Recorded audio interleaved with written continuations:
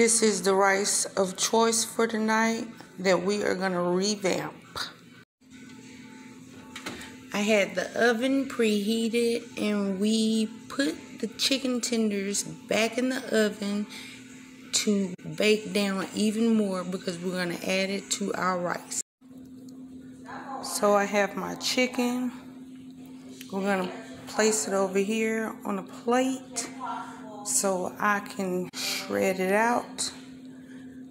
And we're going to add it to the rice. Chicken is shredded. Before adding the oh shit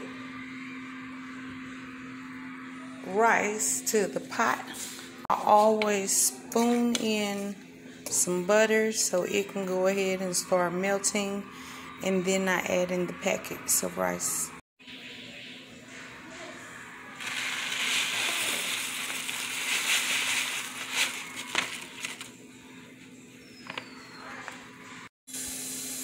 So I added the rice to a bigger pan because we are getting ready to add the chicken to it.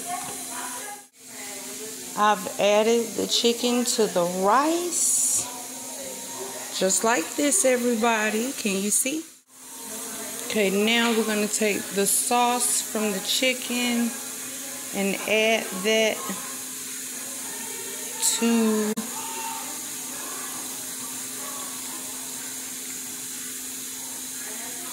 your food. Oh, it was heavy. Just like that, you guys. Now just get everything mixed up.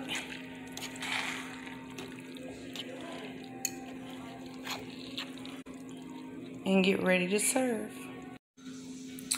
Okay, so you see everything that's laid out. So you know what's about to happen. Salad time. I love salads. Do you guys love salads? Salad goes in the bowl.